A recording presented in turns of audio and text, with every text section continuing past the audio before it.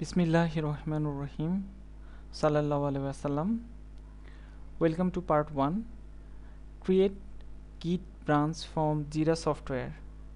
Me Tawhid with you. Before I start this tutorial, I would like to tell for this state we need to previously connect our Jira software to Bitbucket. It's not really difficult task if you administrator of both software Jira basically calling this configuration is application link. In this Jira issue you are seeing under development a link that is cre calling create branch.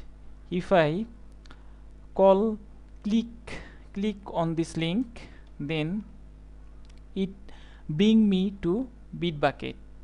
Here I already set up a Bitbucket repository for my that particular project. Here you are seeing it select the repository. I named that repository to development workflow and here type of branch.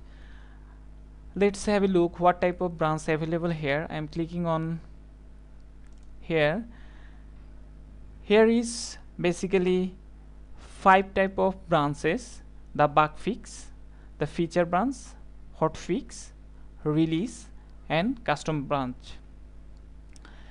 It basically depending on what the issue type of our uh, Jira then it will automatically select that type in Bitbucket.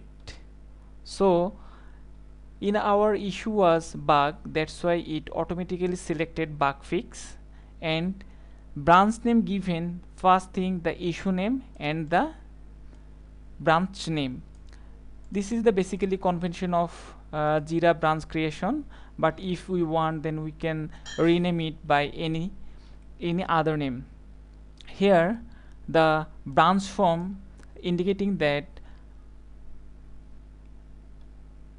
this feature branch we are creating from master branch.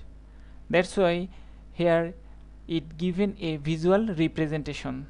Okay now I am creating a branch. Clicking on this. Create branch button. Okay. Now it created one of branch named P PW PDWC something 552 okay. Once you created this branch then you can check out from your repository. In this case we are going to show you the IntelliJ IDEA which have going to check out this branch this is IntelliJ IDEA. Uh, if you see my uh, other tutorial then you uh, may be familiar with uh, this IDE in this case now I am going to check out a branch but unfortunately we are not seeing that branch here.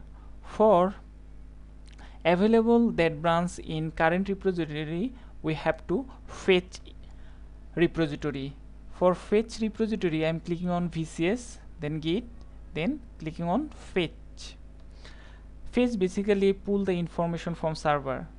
It already fetched successfully. Here uh, showed the message now I am clicking on this panel. Now I am seeing this is the branch available in my local. Now I am going to check out this branch. Check out. Then in that asking name of the branch in local uh, I remain same as before. Now it's check out to check out to that branch so this is the process of creation git branch from jira software. Thank you for watching. Please follow the description for other part. If you think this video or this tutorial helped to you then please subscribe my channel. I have to share my knowledge with other people. Thank you again